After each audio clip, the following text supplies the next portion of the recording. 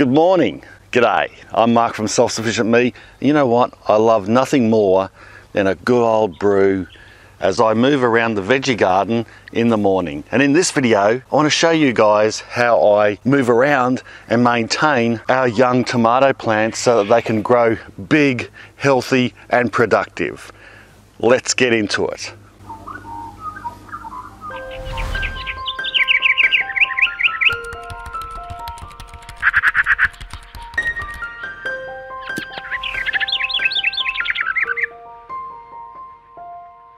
Before we do go on, let me just put this brew down for a second and I'll talk about the situation we've got going here.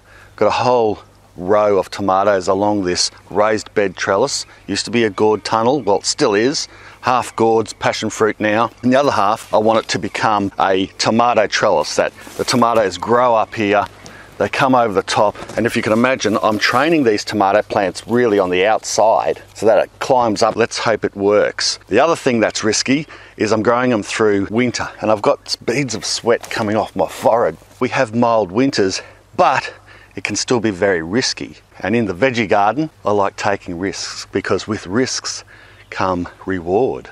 And if I can grow these tomatoes through this subtropical winter, even though we might get a below freezing day and it could knock them off, hopefully it won't, hopefully just retard growth a bit and they'll keep pumping through. We've grown great tomatoes here before through the winter time and the reason why I like growing them through winter is because there's less pests, there's less humidity and the tomato plants generally do better. Having said that, there are things that we need to do to manage the tomato crop so that they do have the best chance of getting to that productive stage. I've got my brew back. See, just like magic. The first part of the management stage for us is getting them past seedlings. And the way I do this is I grow plenty of them. We've got possums and rats that like to nibble off small tomato plants. And if I can sow a whole heap, I still have a few that get through. Once they get about a foot high, tomato plants are quite toxic just about to every animal, which is part of this whole management tip is once you get your tomatoes to that stage,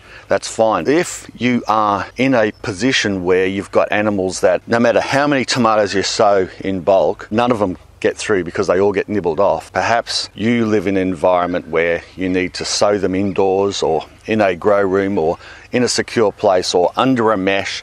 Uh, under a netting so that the tomato plants are protected during that young stage of growth to get them past at least 6 to 12 inches high and then you can open them up and you can be pretty safe that they shouldn't be eaten. The second thing I do is try to manage any early onset of disease like blight or any fungal diseases, the brown spots that you can get on tomato plants and leaves. If you get them too young, they'll retard the plant growth or the plant won't grow at all and the plant might die off. That is something that really needs to be managed right from the get go. You obviously don't want your plants to get to this stage and then start getting disease and die off because you know there's a month pretty much gone. You try to re-sow again after that, your season's just about over and your tomatoes might be ripening at the wrong time or you might not quite make it if you're living in a cold climate. Tomato seedlings should have enough protection in them to grow quite strong for the first month without too much intervention at all. But then they get to this stage and you can start seeing a few spots. And what often happens is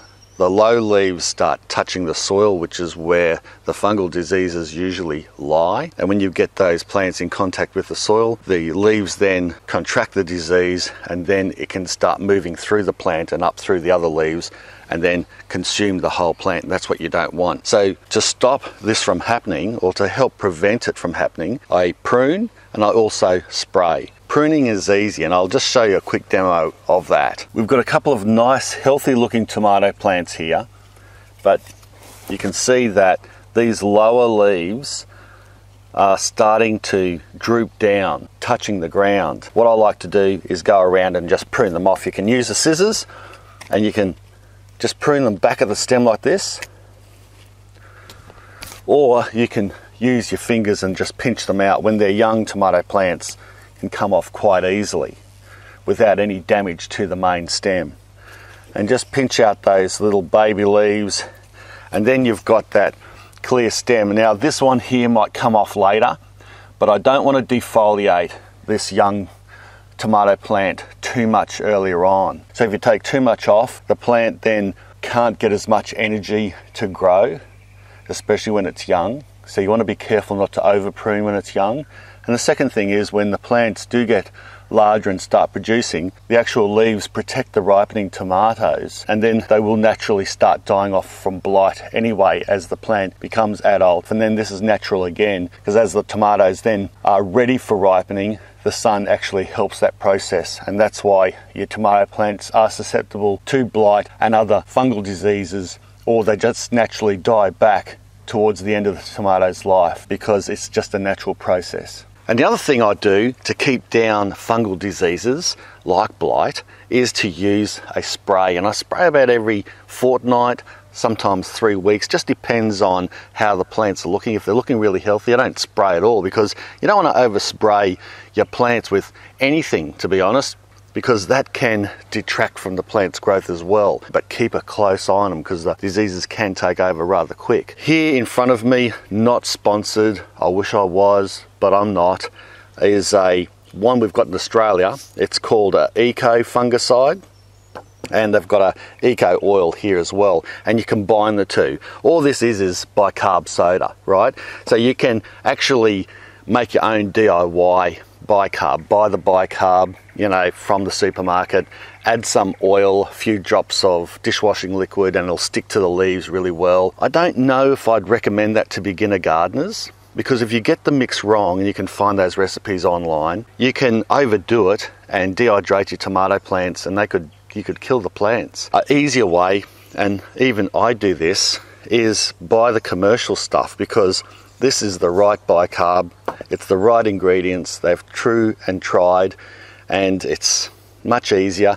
And this is the right oil. If you use the wrong oil you know you can damage your plants. This is a horticultural oil so it's a specific oil used for plants. It dissolves easily in water, that when you do spray it on the plants, it actually does the job it's supposed to. You can get other commercial types of fungicides that are more potent, things like, you know, copper sprays. People don't like using them because they're not totally organic and they can be indiscriminate in killing other fungi in the soil, like good fungi that help your plants grow. If I'm going to be really honest with you, I don't think using any type of fungicide, even the more potent ones, are as bad as, say, using pesticides on your plants, like the real potent pesticides, which I wouldn't use. Watering and weeding are another two quick tips that I do to maintain younger plants. You don't want weeds like this gourd that's coming up too late competing with your young tomato plants. That just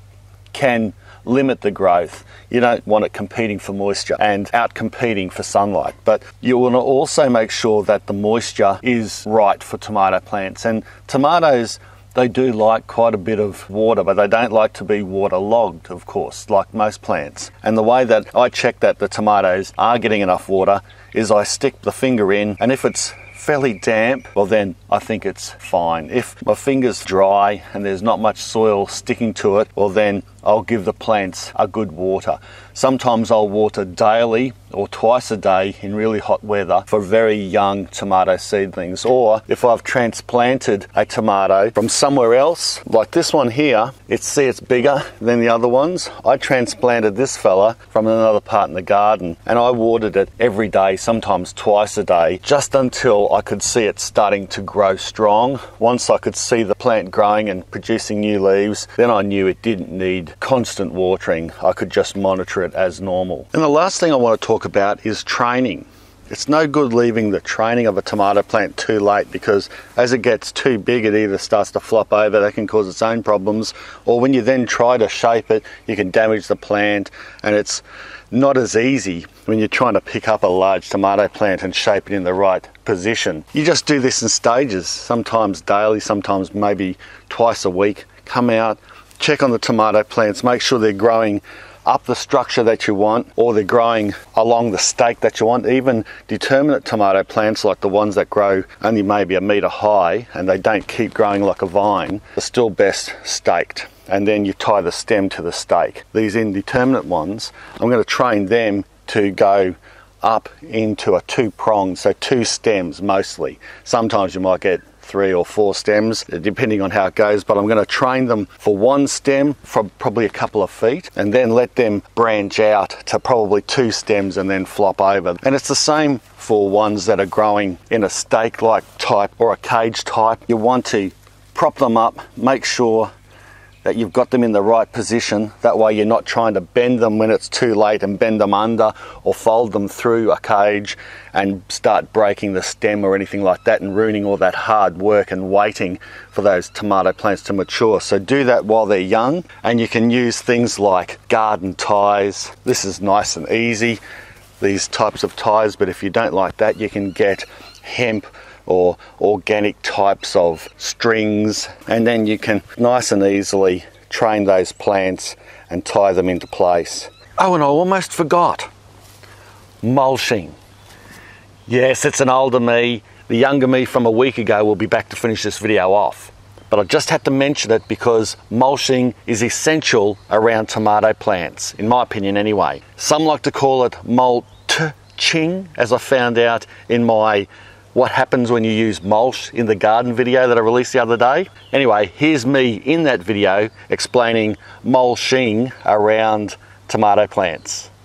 Mulching around the base helps keep our tomatoes tootsies, their roots nice and cozy on those cold winter nights. Mulch helps to encourage and create a better environment for worms, microbes and beneficial fungi like mycorrhizal which in turn helps the plants grow healthier. Mulch helps to prevent soil-borne diseases. What it does, it creates a barrier between the foliage of the plant and also sometimes the fruit, between it and the soil where a lot of those types of diseases harbour. I'm glad I remembered to include mulching because although the pronunciation isn't important, mulching around tomato plants is. Now back to the younger me. And that's how I maintain, train and care for younger tomato plants so that hopefully they can grow and turn into nice big productive plants. Fingers crossed. I mean disasters can always happen in gardening and uh, that's part of the fun for me, you know, that's part of the challenge. That's part of the, the risk taking. Grr, I'm such a risky gardener. So anyway, I hope you enjoyed the video. If you did, give it a big thumbs up and share it around. Subscribe to my channel if you haven't already. Get into your gardening. Thanks for watching. Bye for now. Ah, I've finished my brew. I might go get another one, I think.